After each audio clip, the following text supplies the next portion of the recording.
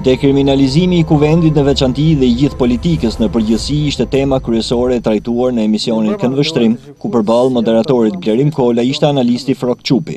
Seanca plenare e kuvendit ku u votua miratimi i kërkesës së prokurorisë së përgjithshme për heqen e imunitetit të deputetëve Tom Doshi dhe Mark Frroku nuk mbeti jashtë bisedës. Përkundrazi, analisti Frrok Çupi e quajti votimin si shenjë se mazhoranca dhe qeveria tashmë i kishte zënë krimi. Krimi nuk është asnjëherë për të ndryshuar pozitivisht. Për mua, sot politika shqiptare ose qeveria shqiptare, parlamenti shqiptar ka rënë në krim. Kjo është gjëja më më përcaktuese dhe më e shkurtër.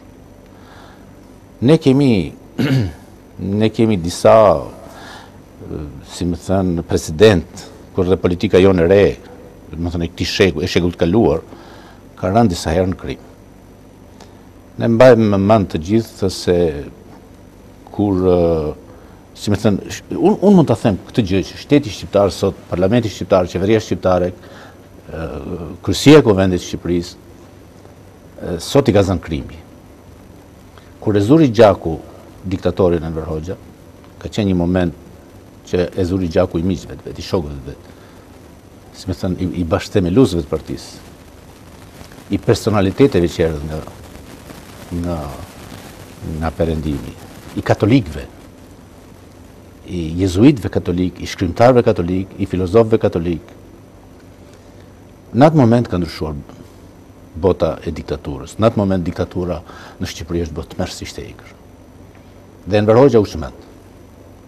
Gjatë gjithë kohës ka qenë i çmendur, ka jetuar në në në delir dhe i ka prurë Shqipërisë, i ka sjellë Shqipërisë fatkeqësinë më të madhe në historinë e saj. Unë mund të bëj këtë krahasim, domethënë sot parlamenti ka rënë në krim. Ka rënë në krim, e ka zënë krimi vetë dhe për të dalë del vetëm nëpërmjet çmendurisë. Domethënë, po ta sjellim më më më, më afër, nuk ka më punime parlamentare, nuk mund të ketë më, sepse në drejtuesi i parlamentit është një i akuzuar për krim dhe që për të shpëtuar veten vrau dy Më thonë se si më thonë, donte t'i vriste fizikisht, praktikisht i vrau me ligj, me prokurori. Edhe jezuitë. Ndërkohë, duke trajtuar më në përgjithësi çështjen e dekriminalizimit të Kuvendit, analisti Frrok Çupi e quajti këtë iniciativë të opozitës si një ide të mirë. Por fakti se mazhoranca e pranoi një ndërmarrje të tillë, ishte edhe tregues se parlamenti ishte i kriminalizuar. Vërtet është se ideja e hedhur nga opozita është një ide që në këtë në këtë xhungël krimi është një ide pozitive, por që e arriti rezultatin shumë shpejt. Kam kam frikë se nuk do të ketë më rezultat më shumë se sa kaq sa arriti.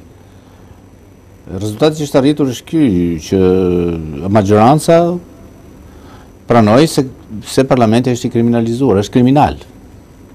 Dhe kur pranoi që duhet dekriminalizuar, do të thotë se është në krim.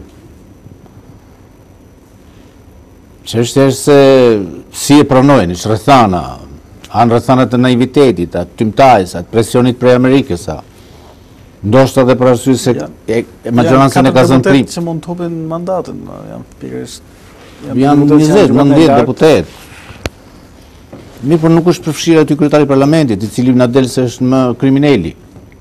Është e ngatërruar çështja, është shumë e ngatërruar. Tani që u pa që e që duhet patjetër të vihet gishti mbi të parin e krimit. Parlamenti u tërhoq, po tërhiqet majoranca nga ideja e dekriminalizimit. Kjo është çështja e parë, domethënë ne kemi pranuar botërisht Parlamenti shqiptar, maja e pushtetit të zgjedhur, ka pranuar se kemi një parlament kriminal. Kurrë në botë s'është pranuar. Kurrë në botën moderne, as në botën primitive. As në ligjet, as në kodet e Hamurabit, as në demokracinë e Athinës, as në xhunglat e Kukluksklanit, nuk është pranuar se parlamenti është kriminal. Në këndvështrimin e analistit të ftuar në studio, edhe zgjedhjet e ardhshme vendore nuk do të mbeten jashtë ndikimit të situatës së krijuar. Sipas tij, pushteti i kriminalizuar do të tentojë përsëri të blejë votën e zgjedhësve. Kam përshtypjen se në këtë tension të madh që ka marrë majoranca, pushteti, dy partitë, nuk do ketë zgjedhje. Kam përshtypjen se këto do jenë, do paguhet frika, Do të, do të, do të kemi, kemi në me, me, me fenomenin e pagesës së frikës. Do, pag, do paguhet frika në popull, do paguhen me lek, me paratë që u janë vjedhur këtyre njerëzve, do paguhen votat e tyre, dhe do të jetë një pushtet i egër, do të dalë një pushtet i egër, pushtet i, i marrë me, me forcë, me dhunë, që do ta ngarkojë akoma më shumë situatën morale dhe politike të vendit, do t'jenë po aq kriminalë të zgjedhurit nëpër, nëpër parlamentet e rretheve, saqë do, do lindë përsëri ideja dekriminalizojmë bashkitë. Pastaj dekriminalizojmë, nuk ka, shikon, nuk ka ndodhur se, se, sepse krimi në shoqëritë e lira, dhe dhuna në shoqëritë e lira është jashtë realitetit. Domethënë krimi në pushtet, do të them.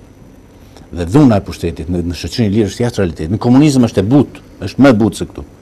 Nëse këtu do këta do të na çojnë deri deri në qelizë, do na çojnë deri në pikën që do të themin nesër të dekriminalizojmë familjen. Ja do ta shikoni. Në emisionin Këndvështrim, Frok Çupi analizoi edhe zhvillime të tjera të politikës së ditës. të lidhura ngushtë me përpjekjet dekriminalizuese. Këtë emision, ashtu si dhe transmetimet e tjera të televizionit Adrianet, ju mund t'i shihni përsëri edhe në kanalin e televizionit tonë në YouTube.